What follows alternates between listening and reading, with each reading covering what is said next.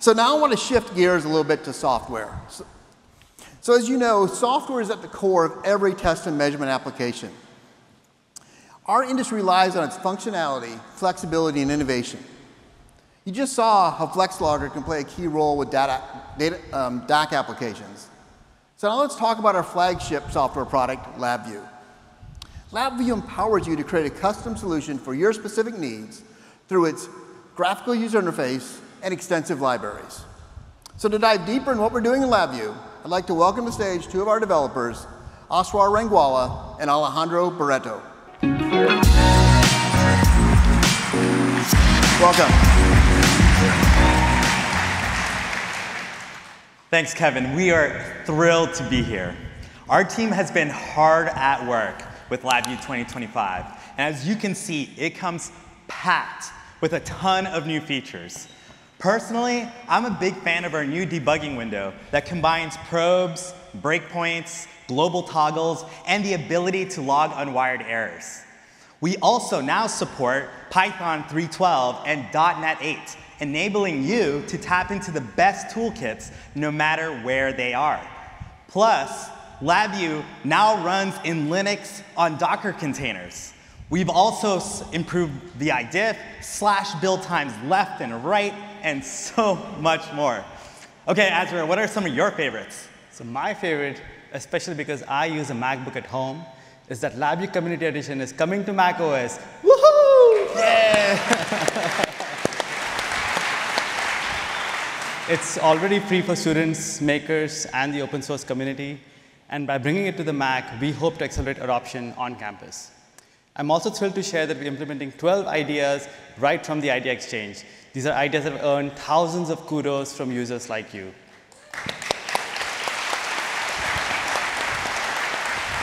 For that, I'd like to thank Petru, Jim, Christian, and Steve, and the amazing LabVIEW community. You all made this happen. Yeah. All right, now that's an impressive list of features, but you know I have a little bit of inside information. Um, I know what you two work on every day. And there's a feature you haven't mentioned that we did uh, a, a early access or a early access last year. Our Nigel, our AI advisor. So What's up with Nigel?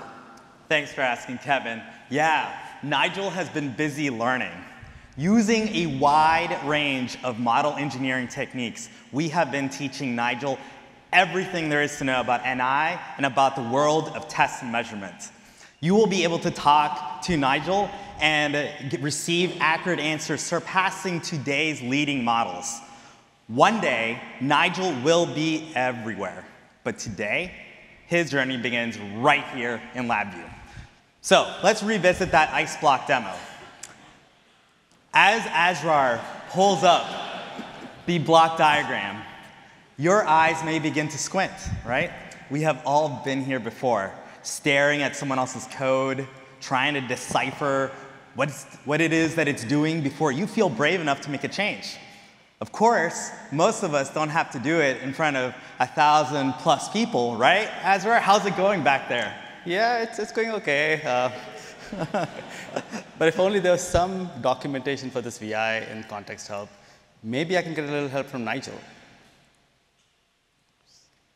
Awesome. And while Nigel boots up here um, and starts responding, Nigel will respond with a quick summary of the VI, followed by a table of its controls and indicators that will inform you how it works.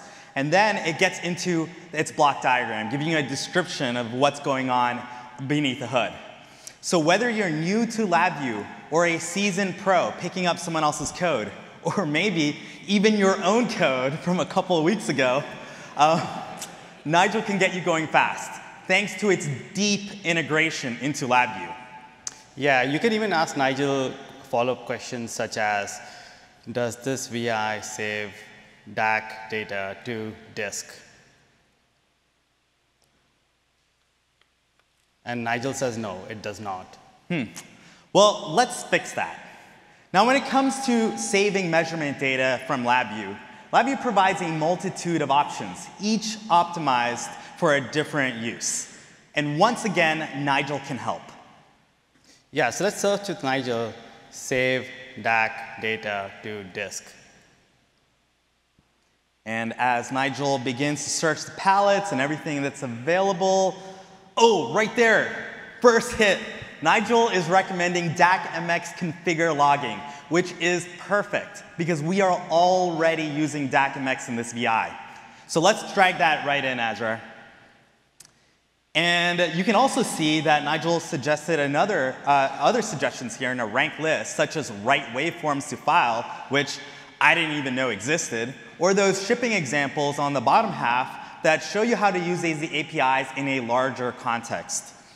Nigel even explains why he picked these options. As you can see from the tooltip, he's giving you a rationale of why it got included.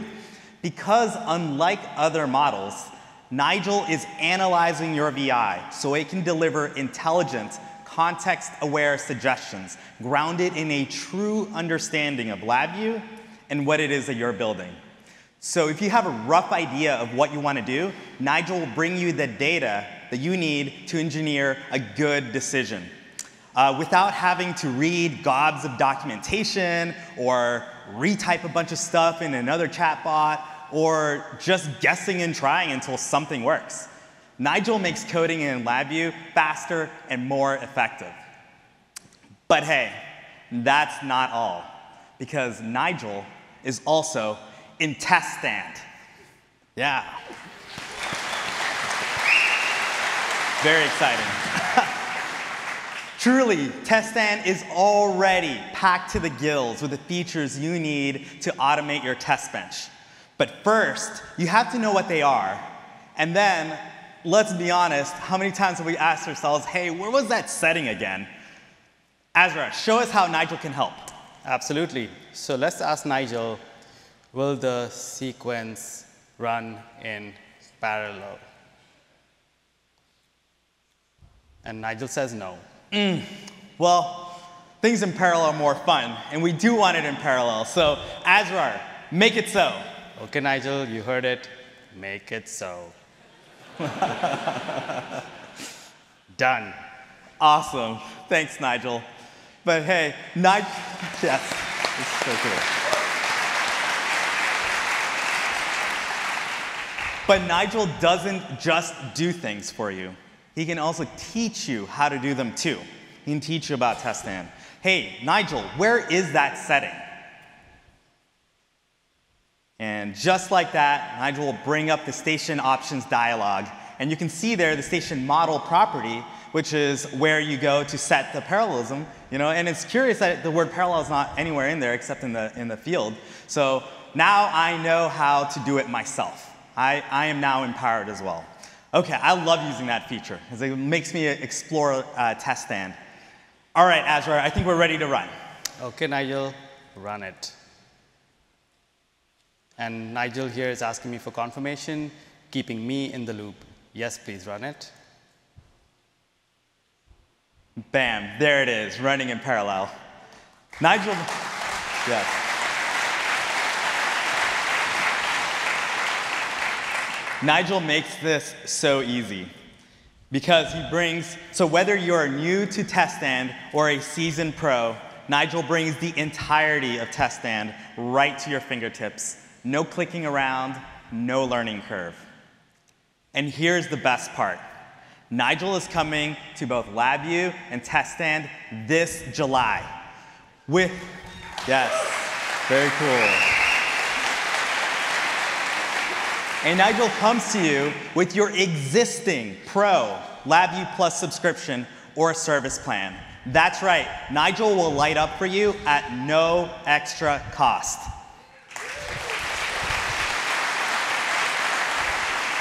So subscribe today. and truly, July is only the beginning of our journey with Nigel. Because with every update, Nigel will keep getting smarter and more capable ultimately making you a smarter and more capable engineer. Thanks. All right. So, so it's great to see this technology being integrated in our platform. Now we're going to talk about AI a little bit later in the keynote, but Asrar, Alejandro, thank you. Thanks for a great demo.